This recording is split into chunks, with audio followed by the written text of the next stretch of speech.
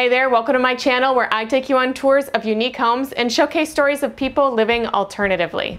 Over the last 10 years, we've featured all sorts of amazing spaces on this channel, including a lot of tiny homes, but also homes that are made with alternative methods such as shipping container homes, homes that have been upcycled, such as this amazing luxury airplane home, homes that are 100 feet up in the air, and also homes that float on water. And that's what brings me to today's episode. We're gonna meet Brandon and Sarah, and they're gonna take us on a tour of their second floating home and discuss their unique lifestyle of living full-time on the water.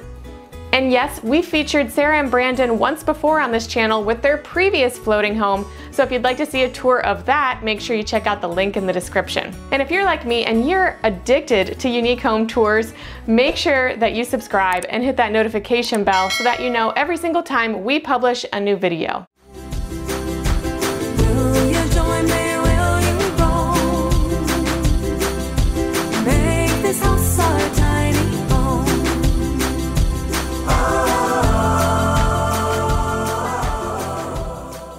Hi, I'm Brandon. I'm Sarah, and this is our new floating cabin that we call the Honey Hole. Tiny house now, giant journey, they come to fill my soul. Come on out and show them how I'm gonna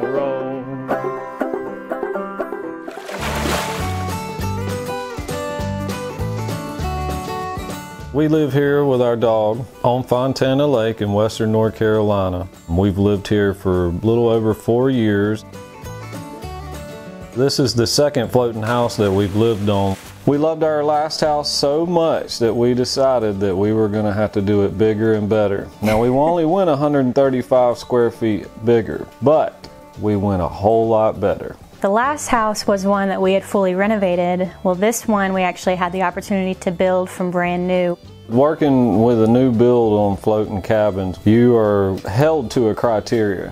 And this house, we were held to 360 square feet for the actual floating cabin part. And then the open docks, which surround the house, we were held to 400 square feet. So we technically ended up with 800 square feet of house and docks with this floating cabin. A lot of people wonder whether we build these on land and then float them or whether you build them in the water. It was a little bit of a combination of both. So we built the foundation, if you will, the floats and the actual frame of the dock and the subfloor over on land, floated that, and then built the rest of it up from there. It took about two and a half months to build it, and now we were working sun up, sun down every single day. We took very few breaks, so that was definitely an expedited process, but we got it done quickly so that we could get back to work at our day jobs in our busy season over the summer. We were also able to cut costs in a lot of ways by doing a lot of the labor ourselves, finding some really cool steals on Facebook Marketplace and reclaiming some wood, just being thrifty wherever we could. So we think it worked out pretty well. I happen to work here and manage Fontana Marina I work for the National Park Service seasonally as a forestry technician, so I've got about an hour drive to my duty station, not including the boat ride. Our dog's name is Aiko. She's an Akita. She's eight years old, and she's a total, and she's a total boat dog. Oh, you're about to say. I know. Let me just try that again. Luckily, Akitas are kind of a perfect fit for this lifestyle. Even though they're a big dog, they have pretty low energetic needs. They're very calm. They like to sleep about half the day, if not more. So we get her exercise in the morning and evening, but throughout the day, she's very content to just lay here and sleep. Number one question you get on a floating house, houseboat is how do you take your dog to the bathroom? Well, Nothing much has changed from the last floating house. We take her to the bank, she goes to the bathroom, she gets back in the dinghy, and she comes back to the house.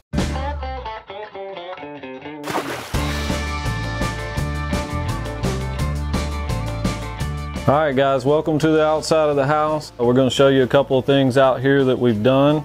One of the first deals, this is actually the floating house square footage here and then we've added these outside docks. Now we were only allowed to have 400 square feet of docks on this house. So what we've done is build a front dock with two side docks going down both sides of the house. That way we have places for our utilities, easy access to get on and off of a boat. We went with these swings that we tie up. We love these, but we spend a lot of time in these chairs staring at that view right there. If y'all come with me, I'll show you the utility side of the house. So we've got lithium iron phosphate batteries on this house, but every now and again we have to charge with a generator because maybe we won't have sun for two or three days. We'll just plug this right in, charges our battery bank, we'll be good to go for two or three more days. The way we build these houses, we run our hot water off of gas, liquid propane, LP. We also cook with the gas and we run our refrigeration off gas. So we put a 100 pound bottle on here. This bottle will last us two months and then we'll need to take it to town and fill it back up. These hot water heaters you can get for $100, $200. The main thing with us is our water intake is actually city water on these houseboats, but the piping is ran through the lake and it hangs off of floats. So the water will change temperatures throughout the year with the lake changing temperatures. When we buy these, we have to buy one that has a winter and summer mode because our inlet water will change temperatures and these things don't always work well that way. This house is not anchored with a winch like on our last house that we had. This house has got four anchor points and they're all one inch twisted line. They go up into rocks and we've hammer drilled in the rocks, embedded eye bolts. And this house is designed to move out. As you can tell, this lake is down. It's actually down 40 feet right now. It'll drop another 20 feet down. Um, as it drops down more, we will slide this house probably 100 yards out from where it's at this back anchor line will be left up here where the land is, and our front anchor lines will then become our back anchor lines. And we've designed this house to slide out in the winter and slide back in in the summertime. When the lake's all the way up, this is 70 to 80 feet deep. Now we're probably in about 35 feet of water, I would think. If you look back here with me, you'll see this waterfall. Uh, it gets a little bigger in the wintertime as the lake goes down, but it runs up the cove of this mountain. And at nighttime, this is what we listen to, this beautiful sound. In the mornings, as of this morning, we have bobcats we see run across the back line of this waterfall. The otters have a, a, den up top here. We see them come in and out every day eating their fish. Bears along the banks. We get a lot more wildlife here because I guess we're more secluded in this cove. So it's, uh, it's been a cool place to live. Now we're here on the left side of the house. We decided to go with a snowflake white and believe it or not, there's like 2,000 white. So when you're picking out the right colors, you ask your mother. And mom did a solid on this. Snowflake white, this black has almost a greenish tint to it, goes in great with the background. We went with a tongue and groove soffit on this house and we stained it with a personal stain that we mix up to get this certain color and it really just ties it in and makes it pop with the nature. And during the summer seasons when we're swimming, gotta have a ladder. Every boat needs a ladder in case you fall in. So put us a nice dock ladder off the back instead of the front of the house. We don't have to worry about pulling in with boats and hitting it. And uh, gives you kind of your own little private swimming hole back here. This Bee Cove is famous for its trout. So the trout love to come into this natural spring water. I'm thinking it's a lot cooler as the water flows through here and this is a great fishing hole. At nighttime you can catch largemouth, trout, catfish, everything loves to come into this hole. So we stay well fed through this hole. With this house, we wanted to add a little nautical vibe to it, so we went with an octagonal window, put it right in the center up top, and it just gives it that nautical feel because we're out here in the mountains and we also are a floating house, so just didn't want it to be too plain. So window is nice. Cutting trim for octagonal, that's a little tougher than I thought it was going to be, but we did get it done and maybe a little wood filler and a good bit of paint and looks good now. So everybody wants to know how do you stay connected out here? We don't have any phone service in the middle of this national forest. We have a Starlink and Starlink is hooked up, works great for us. No trees, we have a perfect view of the sky and this is the game changer for us living off the grid. So we live mainly off sun power and our solar system's on the roof. It's two 270 watt panels and it's plugged into our EcoFlow system. We're running 7200 watt hours on lithium iron phosphate batteries. We have two Delta Pros and that is plenty of power. We can do five loads of laundry during the summer when we have full sunshine and still go to bed with 80 and 90% capacity of our batteries. All right, y'all come with me now. We'll check out the inside.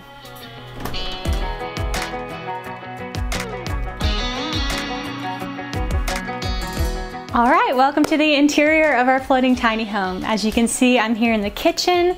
We've got kind of an open concept design between the kitchen and living room here.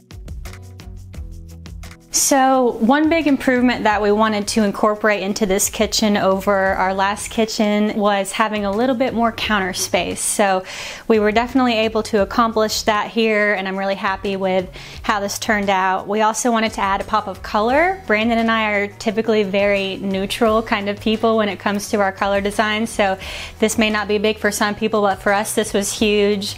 Thanks again to Brandon's mom for helping us nail down this color perfectly. But we've got this beautiful teal cabinets and they really make this awesome centerpiece, our copper sink pop. This copper sink is one of our favorite things in this entire house. I had seen some really cool copper sinks on Pinterest and we absolutely lucked out and were able to find this one on Facebook Marketplace with the fixtures for $350. So that was beyond a steal. We were ecstatic about that. We've got a gas stove here, pretty standard, and then our refrigerator runs on either propane or electric. We do typically run it on the propane, but sometimes on a really nice sunny day where we know it's not going to be an overhaul on our solar panels, we'll switch that to electric, which helps us save a little bit of gas. Another lesson that we learned from our previous house was that we really needed to incorporate more food storage into our kitchen.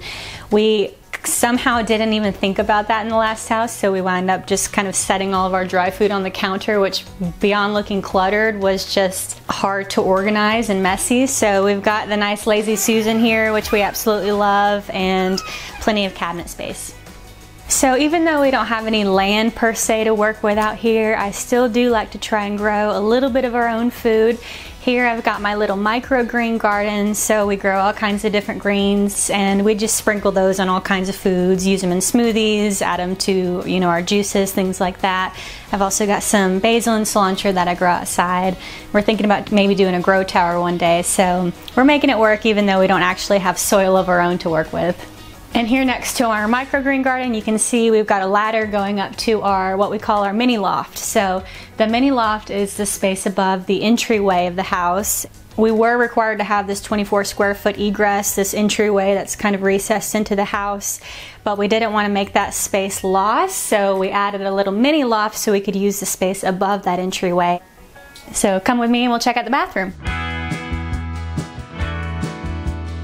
So the first thing that you're gonna see as you walk into the bathroom is our super cute little vanity nook. We did DIY counters here. We have a vessel sink and wall mounting faucets. This is our porthole mirror, you know, kind of a throwback to nautical ship windows, so we love that touch. You might notice a lot of different nautical touches throughout this house, and yes, it is a floating house, so it makes sense, but more specifically, these are kind of oceanic nautical touches, and a lot of that is owing to Brandon's sailing background and our dreams for the future of sailing around the world one day. So these, these touches not only are super cute, but they kind of inspire us in our, our dreams for the future. One of the first things that folks tend to notice when they walk into our bathroom is this rather unique DIY tub that we've got going on.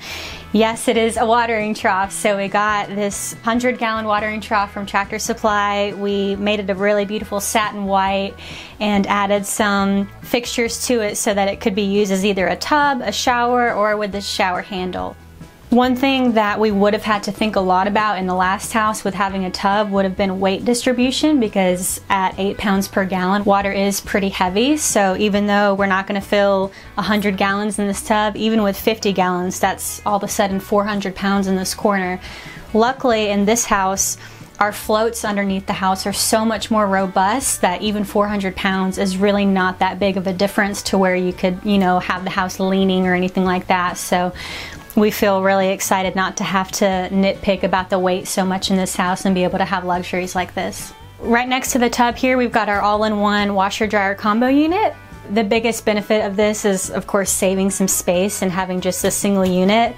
It is a little bit smaller than a traditional washer would be, so we have smaller loads that we do slightly more frequently. In the summertime, we're able to hang our clothes out to dry, and not only does that save energy, but the sun is actually typically a little bit more efficient at drying our clothes than, than the dryer is. The dryer does tend to be our highest energetic pool, so if there is anything in the house that might cause us to need to use the generator, it's typically the dryer, but that's no big deal.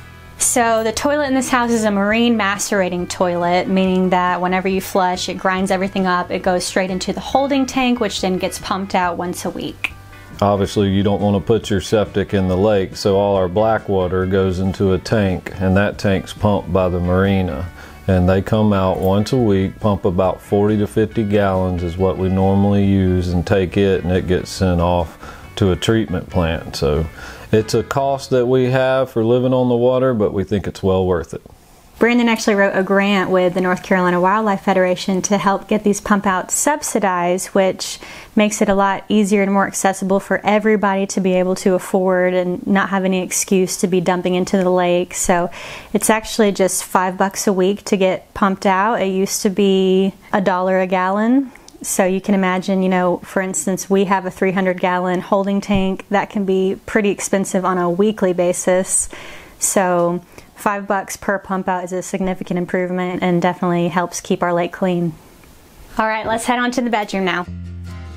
All right, so coming into our bedroom here, We've got essentially our bed taking up the majority of the room, of course, because we're in a tiny house, but I'm really excited that in this room we actually have enough space to walk all the way around the bed. The last bed was in a room where it was basically berth style with the walls flush up against the bed, so this bed is significantly easier to make up, as you could imagine. One of the first things that people notice in this room is that our bed is suspended by these ropes. Or is it? it's actually not suspended by these ropes, but we love the look of a hanging, swinging bed and, and just the nautical vibes of the ropes in general.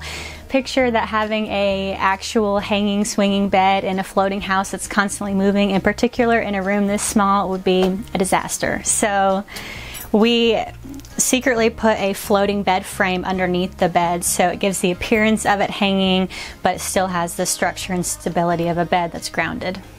The only other piece of furniture in this room is going to be our dresser here and that was a really nice addition to this house because in our last house we just had all of our clothes in drawers underneath the bed which served a purpose but here we actually have space to hang up clothes so we're not as wrinkly shirted all the time and we can just organize things a little bit better. So down here at the foot of the bed, we have this massive full-length window. This is one of my favorite parts, not only about this room, but about our house. This window, beyond having a beautiful view and us being able to hear the wonderful sound at night to fall asleep to the cascade back there, this window is also really important for the thermoregulation factors of this house. So we chose a window that cranks open because it expands the angle that we're able to capture the wind that's flowing. So again, typically we do have that wind that's blowing south to north through here, so it just comes straight in and then picks up through the top windows and filters that cool air through like AC. But occasionally, if the wind direction shifts and it's more of a side to side breeze, we can still oftentimes capture that because it'll hit this window and funnel in through the house. So, again, that just kind of expands the angle of the wind direction that we're able to capture and use as our natural AC. Both the bedroom and the bathroom have this beautiful tongue and groove ceiling, which also serves, of course, as the floor of our loft. So heading around to the back side of the bedroom wall, We've got our kind of two-in-one staircase up to the loft slash shelves with storage and some decorative items. Brandon built this himself and I think he did a really good job. Really happy with how that turned out. And of course it serves a function for us, so let's check it out. Coming up above our bedroom and bathroom here, we've got our loft. The loft serves mainly as a guest room and also with a little bit of additional storage. We've got a queen size bed up here, which has been really exciting just to have the option to have guests stay over because in our last house, all we really had to offer was the couch, and sleeping on a couch definitely loses its charm after a certain age. So we've been really, really excited to have a few guests over. We've only had one guest so far, but um, it's nice to have that option. So as you can see in this loft area, this is definitely not somewhere that you could fully stand up, but since it's really just a guest and kind of extra clothes storage space, it's not somewhere that's being accessed by us or anybody else very often.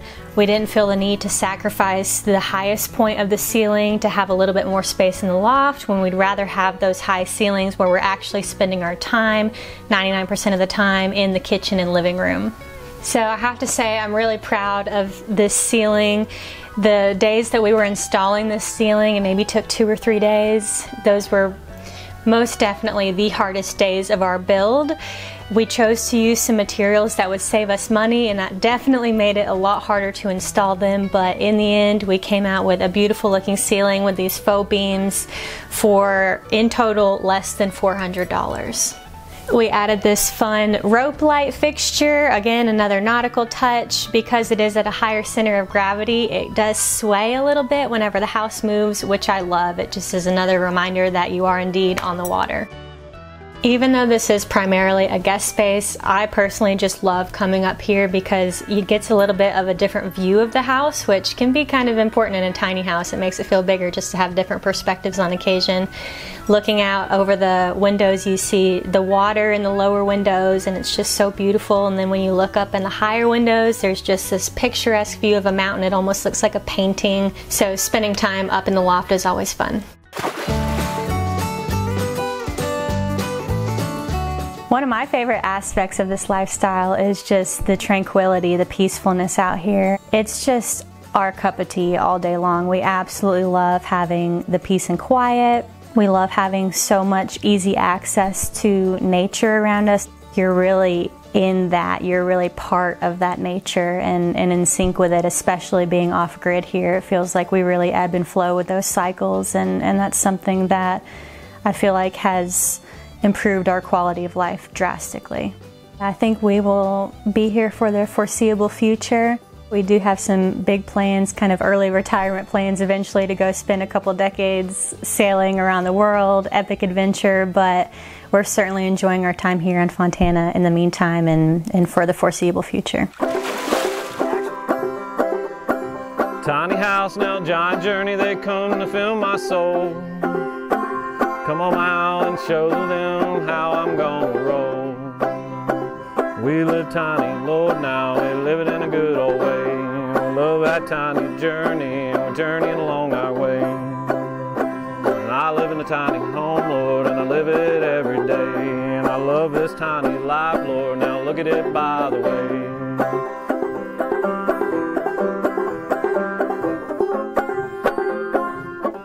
Killed it. That was excellent. Yes. there you go. So there you go. Now you got a tiny house. Totally